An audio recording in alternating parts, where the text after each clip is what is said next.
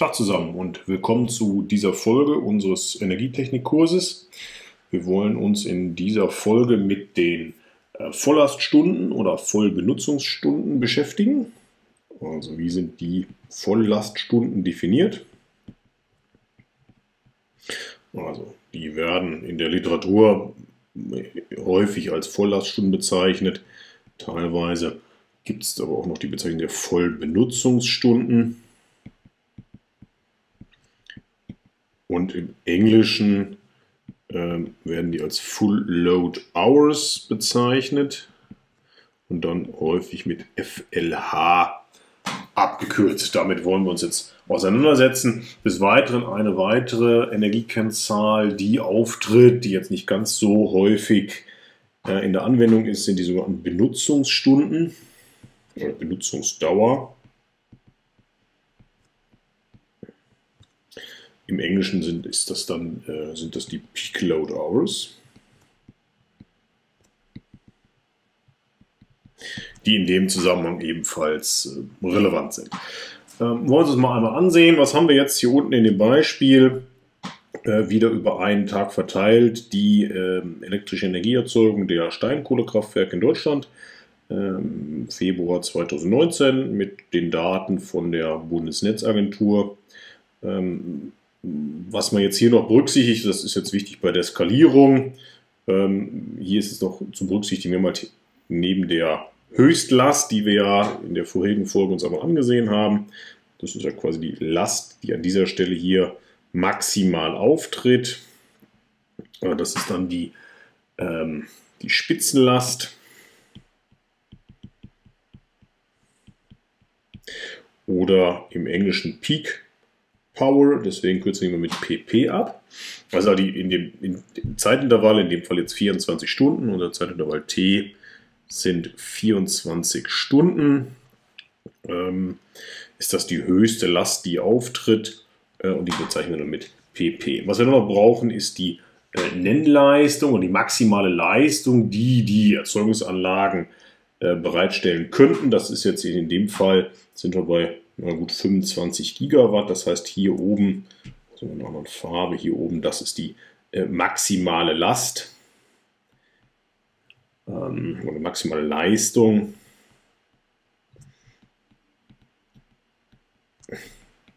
Kürzen hier mit Pmax. So, und nun lassen sich ähm, daraus, also unter der Kenntnis der maximalen Leistung, der Spitzenleistung, lassen sich zwei Energie Kennzahlen berechnen, äh, die von Relevanz sind. Das einmal, wie gesagt, die Vollerstunden. Das bezeichnet die Stunden, die ein Kraftwerk, eine Energieerzeugungsanlage in der Lage ist, äh, Energie zu erzeugen, unter der Voraussetzung, dass es nur mit der maximalen Leistung oder mit der Nennleistung Strom produziert. Das heißt also, ähm, wenn wir die mathematische Definition uns angucken, der Vollaststunde, wie sieht das also aus? Die Vollaststunde Volllaststunden. Ähm, kürzen wir mit TF. Das ist die Energiemenge, die in einem Zeitintervall erzeugt wird. Das ist ja äh, die Fläche hier unter dieser Kurve.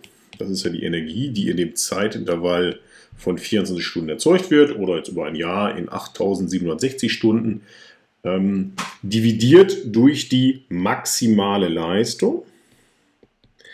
Ähm, und das Ergebnis ist natürlich Energie durch Leistung ähm, von der Einheit her Zeit. Es macht jetzt halt Sinn, das in den Einheiten äh, Wattstunde und Watt zu betrachten, weil dann nämlich die Einheit Stunde ist. Und das ist tatsächlich eine Einheit äh, in der Energiewirtschaft, die sehr gebräuchlich ist.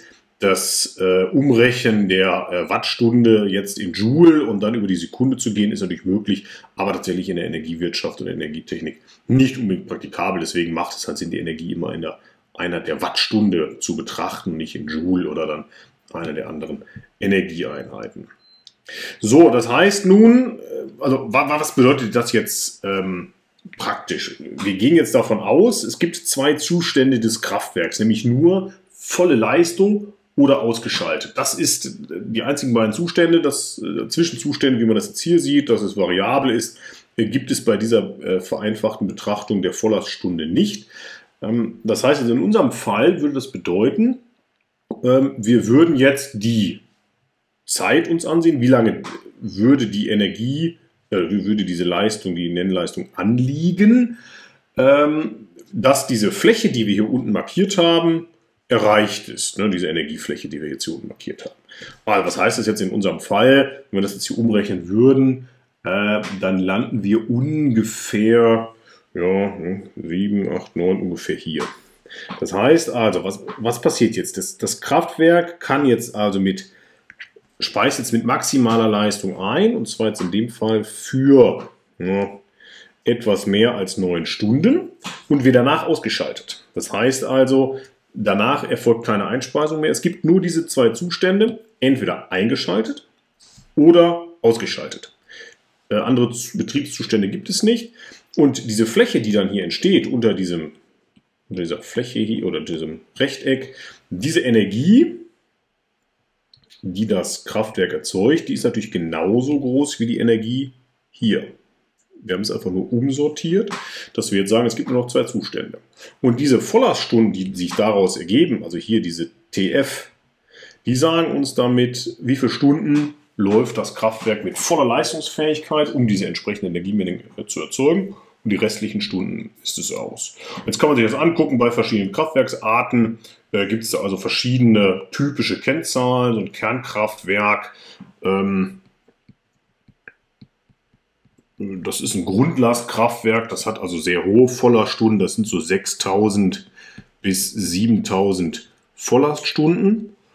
Ähm, bei den Braunkohlekraftwerken ebenfalls. Bei den Steinkohlekraftwerken sind wir in Deutschland, oh, ich sag mal, bei ungefähr 2000 bis 3000 Volllaststunden. Und wenn wir uns zum Beispiel Photovoltaikanlagen angucken in Deutschland oder Mitteleuropa, das sind dann ungefähr 1000 Volllaststunden. Das heißt, man kann diese Kraftwerke so ein bisschen miteinander vergleichen.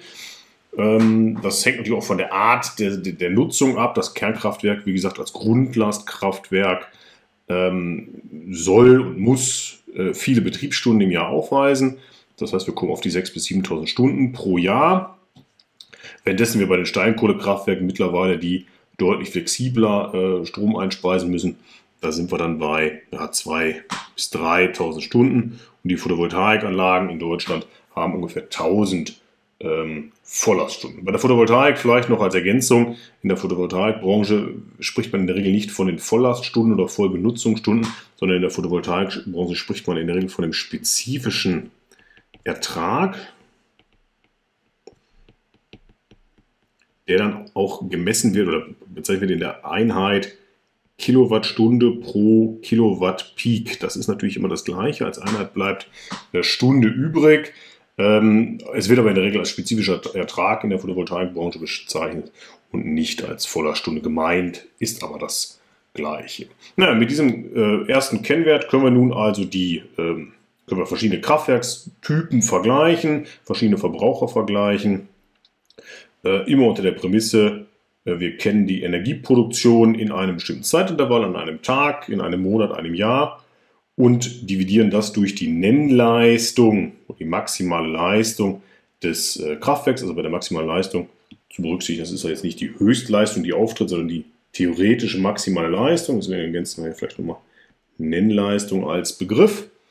Und dividieren nun diese Energieproduktion durch die Nennleistung und erhalten als Einheit Stunde, das heißt also wie viele Stunden in dem Betracht der Zentralwahl würde das Kraftwerk mit voller Leistung arbeiten und wie viele Stunden wäre es dann entsprechend ausgeschaltet.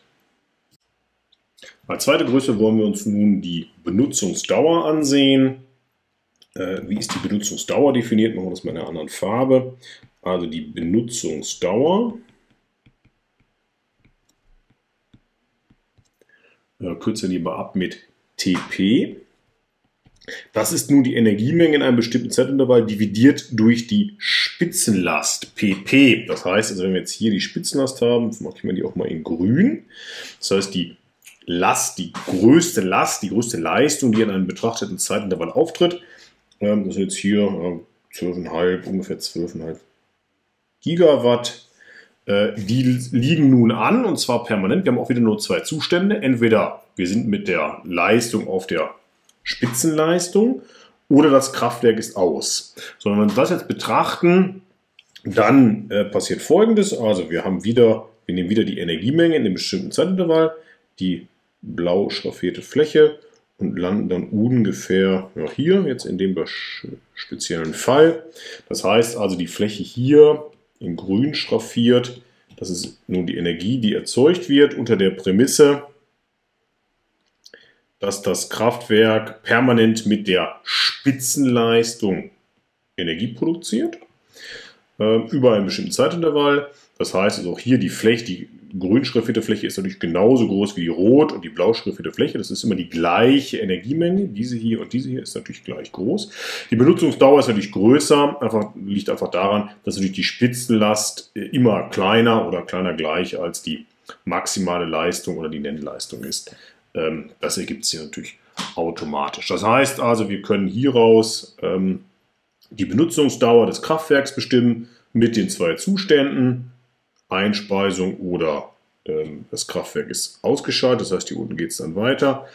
Ähm, wir haben hier dann das, äh, den Zeitpunkt TP, auch wieder in Stunden. Also auch da macht die Einheit ähm, Stunde wieder Sinn, weil wir in der, typischerweise in der Energietechnik immer dann in dem Stundenintervall denken. Schauen wir uns zum Abschluss noch ein Rechenbeispiel zu den Volllaststunden und zur Benutzungsdauer an. Machen wir also folgendes Beispiel. Also, wir haben hier die Leistung, packen wir auf die y-Achse und dann die Zeit auf die x-Achse.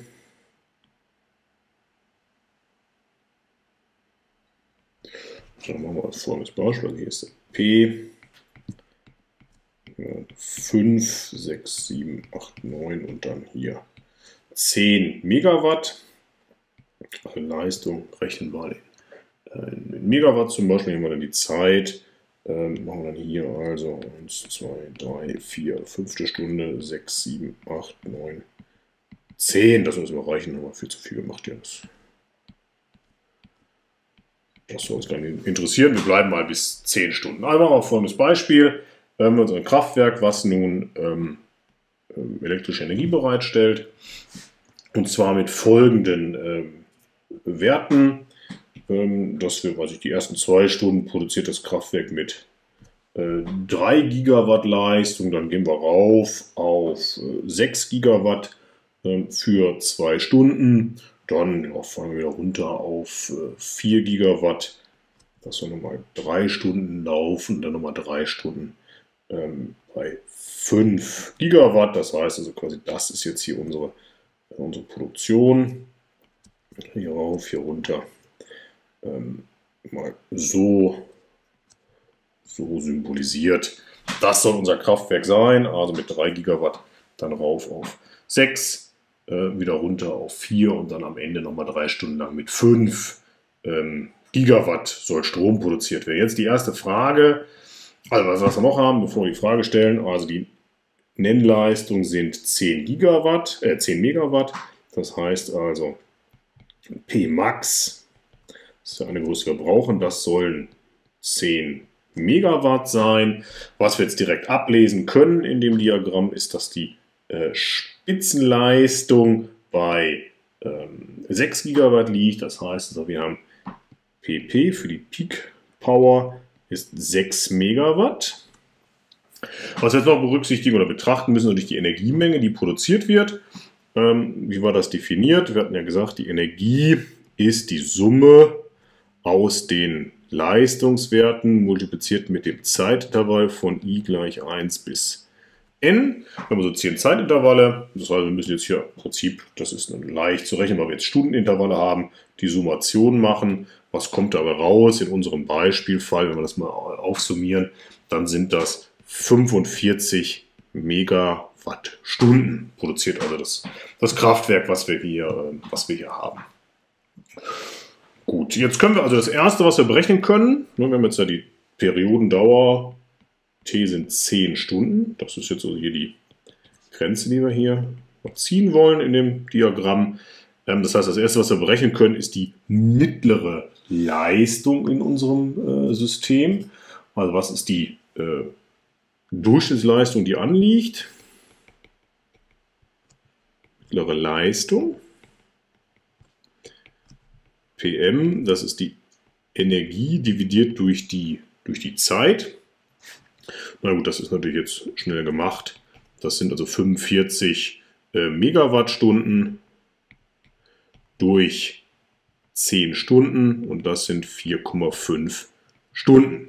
Äh, 4,5 Stunden ist 4,5 Megawatt, pardon. Also das heißt, wir haben jetzt in dem Fall 4,5 Megawatt mittlere Leistung, die anliegen würde. Ähm, das heißt also, die würde, machen wir es mal hier in Gelb, das ist jetzt quasi die durchschnittliche Leistung, die hier in dem Kraftwerk anliegen würde, über die Zeitdauer von 10 Stunden. Das ist jetzt PM, die mittlere Leistung. Dann wollen wir jetzt die Volllaststunden berechnen.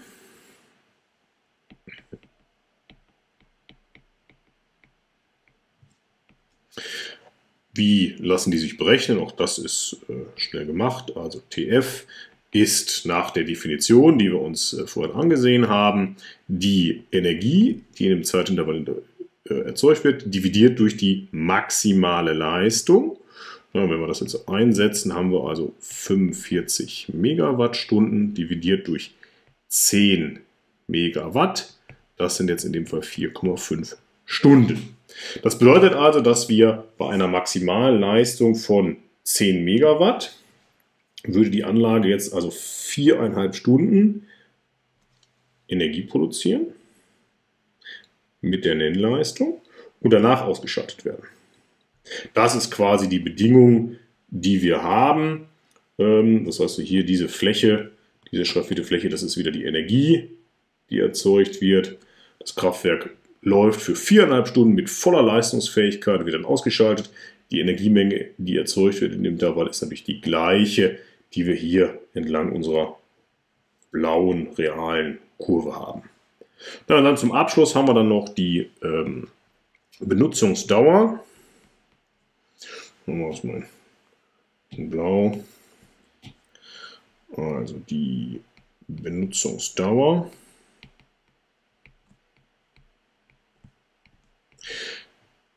Das berechnet sich aus der Energie dividiert durch die Peak Power, also durch die Spitzenleistung. Setzen wir das ein, haben wir also 45 Megawattstunden. Das dividieren wir durch die 6 Megawatt, weil das ja unsere Spitzenlast ist in dem Fall. Naja, das, wenn wir das ausrechnen, sind das 7,5 Stunden. Das heißt also in dem Fall, äh, machen wir das nochmal in grün, wir haben also jetzt hier 6 Megawatt Leistung, das ist jetzt die Spitzenleistung. Die würde jetzt für 7,5 Stunden anliegen. Und dann würde das Kraftwerk ausgeschaltet werden. Das heißt, wir haben wieder zwei Betriebszustände. Entweder die Spitzenleistung liegt an oder ausgeschaltet. Und dann ist diese markierte Fläche hier, das ist die Energie, die das System erzeugt. Hier haben wir also PP. dann hier oben kommen wir auch schon hier so P Max. Und das ist halt der Verlauf, nochmal vorgehoben, der reale Verlauf unseres Systems. Ähm, aber wir können halt diesen Verlauf vereinfachend darstellen oder beschreiben über diese Energiekennzahlen. Das sind also dann die, Benutzungs, die Benutzungsdauer in Stunden, in dem Fall die 7,5 Stunden oder die Vollerstunden. Das Kraftwerk ist eingeschaltet mit Nennleistung oder ausgeschaltet. Das würde dann für viereinhalb Stunden würde diesen Vollerstunden anliegen. Und über diese Energiekennzahlen, mittlere Leistung, Vollerstunde Benutzungsdauer, kann man nun verschiedene Energiesysteme miteinander äh, vergleichen und in Beziehung setzen.